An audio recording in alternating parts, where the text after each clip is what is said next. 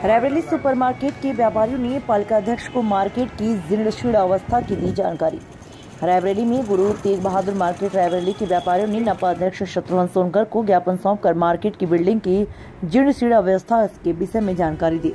व्यापारियों ने नपा अध्यक्ष से बिल्डिंग की मरम्मत करा जाने की मांग उठाई। वहीं व्यापारियों ने नपा अध्यक्ष को अवगत कराया कि सुपरमार्केट की इमारत में पानी जमा होने के कारण जगह जगह छज्जे टूटे फूटे हैं।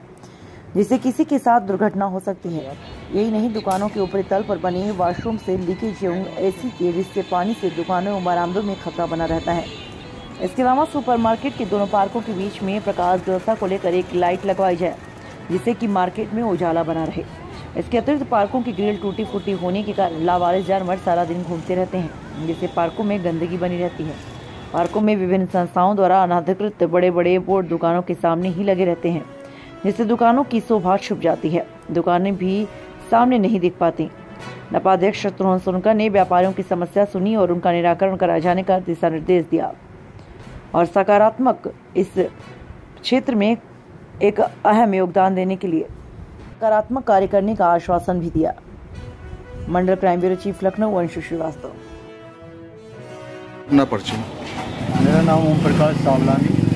हम लोग सुपर मार्केट के ही प्रांगण के सारे व्यापारी हैं। और किस चीज़ को लेकर आज ज्ञापन दिया गया?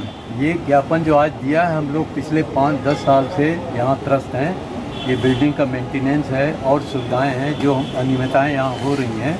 उससे काफ़ी वर्षों से हम लोग डिमांड करते आ रहे हैं, जिसमें आज तक हम लोग सुनवाई नहीं हुई। तो आज बड़ी उम्मीद से हम नए नवनियुक्त अध्यक्ष के पास गए थे, इस उम्मीद से ये तो हमारा कार्य करेंगे। और बड़ी खुशी की बात उन्होंने बड़े प्यार से सुना सब बातें। और भरपूर आश्वासन दिया कि हमको थोड़ा समय दीजिए, हम एक एक समस्या दूर करेंगे और हम खुद इसमें इंटरेस्टेड हैं कि ये बहुत सुंदर मार्केट बन जाए। तो हम लोग इससे बहुत प्रसन्न हैं और हम लोग इसका इंतज़ार करेंगे कि ये संभव हो जाए। और ये सिर्फ़ हम लोगों की इंडिविजुअल समस्या नहीं है, पूरे शहर की ये, के वास्ते हम लोग कर रहे हैं। पार्क अगर ठीक हो जाए, ये हमारा कोई फ़ायदा नहीं है। सारे शहर की शोभा बढ़ेगी, यही डिमांड करने के लिए हम लोग कह रहे हैं।